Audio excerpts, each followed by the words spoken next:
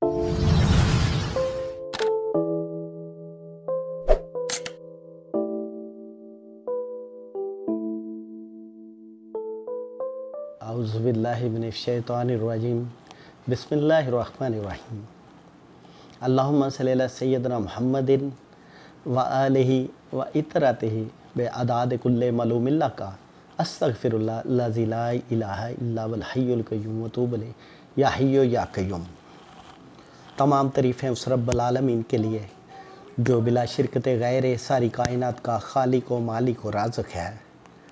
दरूद लामहदूद, उस किश्वरत रसालत माब अलैहि वसल्लम पर, जिनके ओसाफ़ आलिया को लिखने के लिए कलम कुदरत से बेहतर कोई कलम नहीं, और जिनके कमालत आलिया को बयान करने के लिए कलाम फ़ितरत से बेहतर कोई कलाम नहीं। जब भी ज़िक्र रसूल होता है रहमतों का नज़ूल होता है, जिसमें हुब रसूल शामिल हो, ज़िक्र बस वही कबूल होता है। ये मेरी पहली वीडियो है। मेरा नाम डॉक्टर मोहम्मद अफसल फ़ारूकी है। होम्योपैथी से मेरा ताल्लुक़ है। Doctor Friedrich Christian Samuel Hahnemann ने होम्योपैथी का इलाज दरियाफ़त किया। हानीमन साहब कहते हैं कि मैंने होम्योपैथी को दरियाफ़त किया है ईजाद नहीं किया। ईजाद करने का सेरा किसी और हस्ती के सर है। वह शायद गैर मुस्लिम था, इसलिए उसने उस हस्ती का नाम नहीं लिया। हमें उस हस्ती का नाम लेते हुए कोई हिचकिचाहट महसूस नहीं होती। लोग कहते हैं कि होम्योपैथी नया तरीका इलाज है। मगर मैं कहता हूँ कि होम्योपैथी ही कुदरती और सबसे पुराना तरीका इलाज है।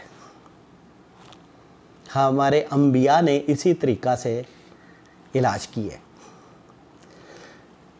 करीम आका सल्लल्लाहु अलैहि वसल्लम के पास एक सहाबी हाज़िर होते हैं। कहते हैं, या रसूल वसल्लम, मैं जब फ़लाँ शहर में जाता हूँ तो वहाँ का पानी मुझे मुआफ़ नहीं आता और मेरे इस हाल का मर्ज़ लाक हो जाता है। नबी सल्लल्लाहु अलैहि वसल्लम ने इरशाद फरमाया, जब इस शहर मदीना मुनवरा वसल्लम से तशरीफ़ ले जाओ तो यहाँ से एक बोतल पानी की भर के ले जाना। उस शहर में जाके उस बोतल से पानी पीना और जितना पानी कम हो जाए, उस शहर का उसमें मिला लेना। फिर दोबारा वही पानी पीना और जितना कम हो जाए, उस शहर का उसमें मिलाते जाना। तो होम्योपैथ समझते हैं, उन्हें अच्छी तरह पता है कि यही तो पोटेंसी का कॉन्सेप्ट है, जिससे उसकी शफाइया ताकत बढ़ती जा रही है और यही पोटेंसी है। इसी तरह गजवा खंदक की खुदाई जा रही है। अफलास के दिन जा रहे हैं। सहाबा ने अपने पेटों पे एक एक पत्थर बांधा हुआ है। करीम आका सल्लल्लाहु अलैहि वसल्लम ने अपने पेट मुबारक पर दो पत्थर बांधे हुए हैं। खुदालें लग रही हैं, खंदक की खुदाई जारी है। एक सहाबी को याद आता है कि मेरी जेब में एक खजूर है। नकाहत काफ़ी है। वो चाहते हैं कि मैं इस खजूर को खाऊं तो मुझे एनर्जी प्रोवाइड हो जाए। फिर वो सोचते हैं कि नहीं, इसको मैं थोड़ी देर चूसता हूँ। थोड़ी ताकत मुझे मैसर आएगी, फिर मैं दूसरे सहाबी को दूँगा, फिर वो चूसेंगे, फिर तीसरे सहाबी को। इस तरह से इस अमल को सात सहाबा ने किया।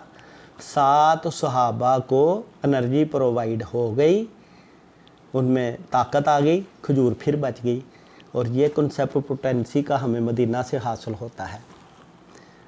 ये मेरी पहली वीडियो है। अगर आपको पसंद आए तो लाइक करें, अपने कमेंट्स दें। इन आपको इसी तरह से मेडिकल के मुतलका वीडियो मिलती रहेंगी। जजाकल्ला खैर।